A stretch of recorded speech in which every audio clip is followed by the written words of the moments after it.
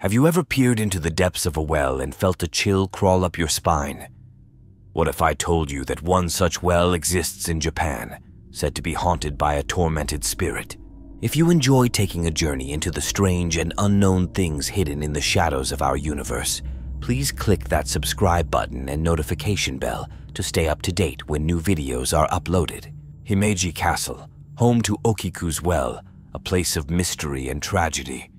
Here, the echoes of a haunting incident reverberates through the stone walls, chilling the air with an eerie silence. This is the story of Okiku, a servant girl whose life took a tragic turn, leaving her spirit to linger around the well that now bears her name.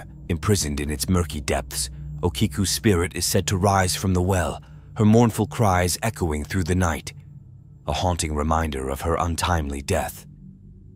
But what led to her tragic fate? What horrors did she face that bound her spirit to this ancient well? A chilling tale, isn't it? But how did Okiku end up in the well? Let's dive deeper into her story. Okiku, a beautiful servant with a fate cruelly twisted by an unscrupulous samurai. Our story begins in the feudal era of Japan, where Okiku, a woman of unmatched beauty and grace, served in a samurai's household. This samurai, known for his ruthless ambition and cunning, was not just her master, but also an unwanted admirer. Okiku, virtuous and innocent, was oblivious to the dark intentions brewing in the samurai's heart. She found herself in the midst of a grand scheme when she was entrusted with ten priceless ornate plates. These plates were not just kitchenware, but symbols of power and prestige. They were the pride of the samurai's collection and the envy of his peers. Their value was not only in their intricate design and craftsmanship, but also in their number. Ten, a number of completeness and perfection in Japanese culture. However, the samurai had a wicked plan. He hoped to manipulate Okiku into becoming his lover by creating a scandal. He hid one of the ten plates making it seem as though Okiku had lost it. In the samurai's twisted mind, he believed that Okiku, in her desperation to avoid punishment, would succumb to his advances. But Okiku was no ordinary woman. She was diligent and honest, and she searched tirelessly for the missing plate. She counted and recounted, but each time she would come up one short. The ninth plate was nowhere to be found, the samurai's plot had successfully cornered her. The fear of disgrace and the unbearable pressure of the situation began to weigh heavily on her. In the end, the samurai's plan took a gruesome turn. Consumed by rage at Okiku's steadfast refusal and the fear of his plot being uncovered, he committed an unthinkable act.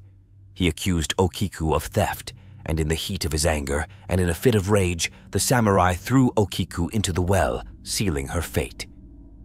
With Okiku's last breath drawn at the bottom of the well, a haunting began that would last centuries. Upon her tragic demise, Okiku's restless spirit was bound to her watery grave, her tormented wails echoing through the still night air, a haunting testament to her untimely death. The once peaceful Himeji Castle, a symbol of strength and prosperity, now bore an unsettling aura, its grandeur marred by the eerie sounds emanating from the depths of Okiku's well. Whispers of spectral activity began to seep into the community, chilling tales of a mournful voice counting from one to nine, a voice that was too familiar, too heartrending to ignore. It was Okiku's voice, her spirit trapped in the perpetual torment of her final moments, seemingly stuck in a loop, recounting the plates that led to her doom. The counting was punctuated by a chilling silence, a pause that seemed to stretch into eternity, before a blood-curdling scream shattered the quiet, a scream of such despair and terror that it sent shivers down the spines of those unfortunate enough to hear it. The scream was a manifestation of Okiku's anguish, her spirit's desperate cry for release from her eternal prison, a heartrending plea that echoed through the castle's stone walls and into the hearts of its inhabitants. But amidst the fear and terror, a question began to form, one that would baffle those who heard Okiku's spectral counting for centuries to come. Why did Okiku only count to nine? Was it a manifestation of her final moments? A reflection of the missing plate that led to her tragic end? Or was it something more, a deeper mystery tied to Okiku's spirit and her eternal torment? As the nightly counting continued, the question lingered, casting an eerie shadow over Himeji Castle. Why does Okiku only count to nine? Why does she scream into the night? As the moonlight bathed the castle's stone walls, Okiku's haunting wails filled the air, a haunting reminder of the castle's dark past and the tragic tale of Okiku's well. The number nine holds a special significance in Okiku's spectral tale. This isn't your usual ghost story where spirits lurk in the shadows, but a tale of torment and relentless pursuit. At the core of Okiku's haunting is a missing object, a tangible token of her eternal suffering. The 10th plate and Okiku was made the prime suspect. Despite her frantic search, the 10th plate remained elusive, leading to her tragic demise at the hands of her enraged master. But death was not the end for Okiku. Instead, it was the beginning of an unending quest. In the afterlife, Okiku found herself trapped within the confines of the well, where she was thrown in her mortal life.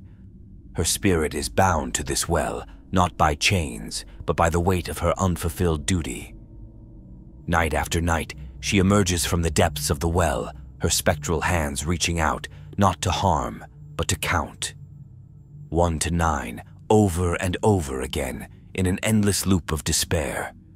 Her spectral cries echo into the night, a somber reminder of her eternal search for the missing tenth plate. Yet, this isn't merely a tale of a tormented spirit.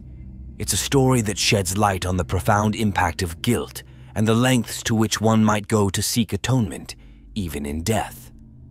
It's a curse, not of the supernatural kind, but one that's deeply embedded in our human nature. The inability to let go, the persistence of conscience, and the overwhelming desire to right a perceived wrong, even if it means being trapped in an endless cycle of despair and regret. Okiku, forever trapped, forever counting. But is there more to her story? As the sun sets, the echoes of Okiku's counting fill the air around Himeji Castle. It's said that even today, the haunting lament of Okiku's voice can be heard echoing from the depths of the well. Visitors, locals, and even skeptical investigators have reported hearing the soft, sorrowful count from 1 to 9, followed by an agonizing wail of despair. Some have even felt a chill run down their spines, as if touched by the icy fingers of a spectral hand. These ongoing experiences, reported by people from all walks of life, lend an eerie credence to the legend. Yet the mystery surrounding Okiku's well remains unresolved. Despite numerous investigations and countless hours spent trying to unravel the truth, the well continues to guard its secret with the same tenacity as the samurai once did their lord. Some believe that Okiku's spirit remains trapped, forever doomed to recount the plates due to her unjust punishment. Others propose that the well is a portal to the other side, a conduit for spirits to communicate with the living. Still, others suggest that the well's haunting is a result of the collective fear and fascination of the people, a psychological phenomenon known as a tulpa. Each theory raises more questions than it answers. Can a spirit really be trapped, forever reliving its final moments? Is the well truly a gateway to the other side, allowing spirits to cross over? Or is the haunting a manifestation of our own fears, a testament to the power of the human mind? Regardless of the answers, the mystery of Okiku's well continues to captivate. It's a haunting realization of the thin line that separates the living from the dead, the known from the unknown, and the rational from the irrational. So next time you peer into a well, listen closely. Can you hear Okiku counting? Or are there other spirits with their own tales waiting to be heard? If you enjoyed this journey into the strange and unknown and would like to see more, hit that subscribe button and ring that notification bell so you can stay up to date on any future videos on the things that go bump in the night. Remember, The world is full of secrets just waiting to be unveiled, and I'm here to guide you through the shadows. So until next time, keep your flashlights handy and your mind open. Because in a world full of mysteries, curiosity is your greatest compass. Thanks for watching.